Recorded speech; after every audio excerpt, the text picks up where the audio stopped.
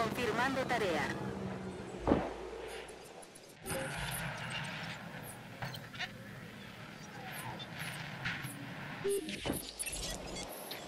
No sé si es que me quieres quitar el trabajo, pero con cifras como las tuyas, te lo mereces.